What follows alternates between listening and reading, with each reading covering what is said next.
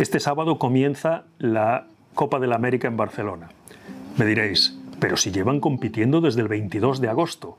Sí, pero toda esta fase de regatas ha sido para que saliera un desafiante, es decir, el equipo que se enfrenta finalmente al defensor de la Copa de la América, que es el Team New Zealand. Ha sido Ineos Britannia en una trayectoria muy solvente, cada vez más sólida, ha sido bastante impresionante porque en estos enfrentamientos previos parecía que el Luna Rosa italiano tenía un punto más de competitividad, de talento, de saber hacer, de experiencia en las ediciones anteriores, pues ha sido Ineos Britannia el que progresivamente ha conseguido una fiabilidad y una perfección en sus maniobras que le ha llevado a ganar de manera irrebatible, justa además, esta competición por 7 a 4. Y ahora, este sábado, comienza la final contra el Team New Zealand. De nuevo, ganará el que primero alcance 7 victorias. En el caso de esta edición, Barcelona está resultando muy atractiva porque las, el cambio de viento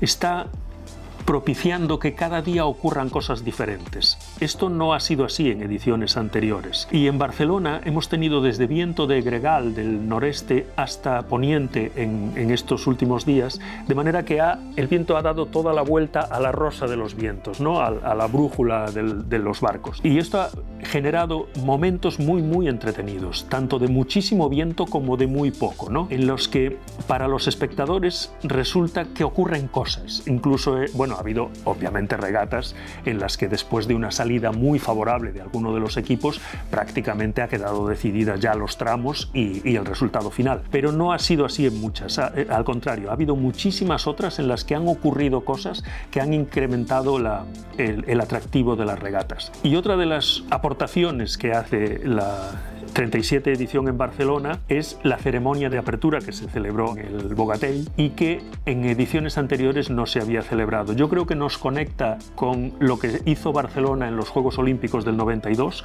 con aquel alarde de cultura mediterránea que supuso la ceremonia de apertura y que creo que le da a Barcelona ese factor importante en la historia de la Copa, que es no haber hecho una edición más, sino una edición que se recuerda.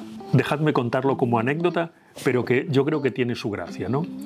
Eh, Sabéis que Sir Ben Ainsley, el patrón del Ineos Britannia, CEO del equipo, es el máximo responsable del equipo como persona que lo dirige todo con el apoyo económico de Sir Jim Radcliffe, pero que es la persona que realmente dirige todo el equipo británico, Sir Ben Ainsley es uno de los mayores regatistas de la historia, es uno de los más laureados eh, regatistas olímpicos.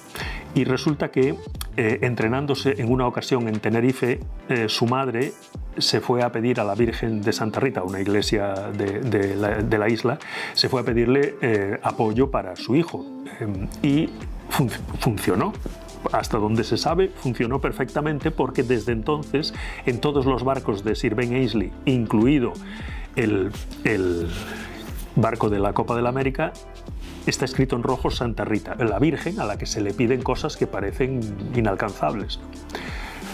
Pues están en la final de la Copa de la América.